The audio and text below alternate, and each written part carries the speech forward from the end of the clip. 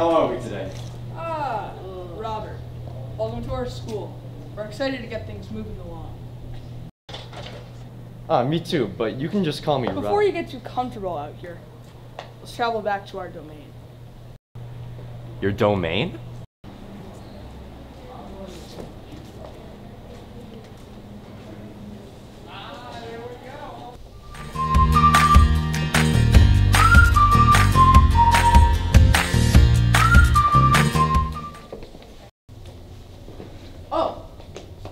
Forgot a couple places I wanted to show you.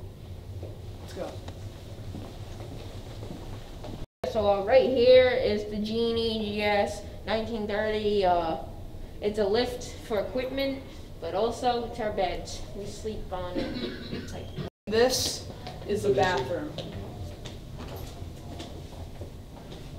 Pretty cool.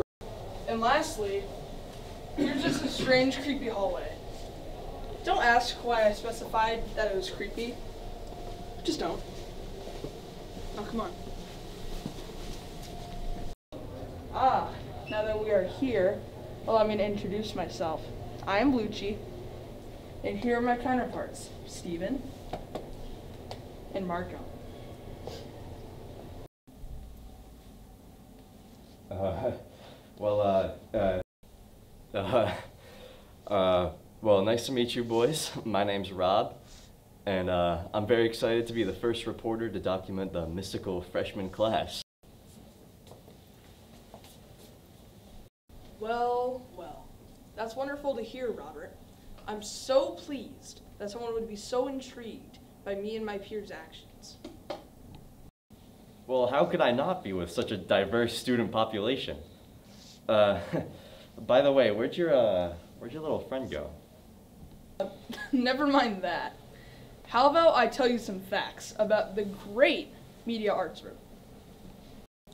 First, this room is one of, if not the most, isolated room in this entire school.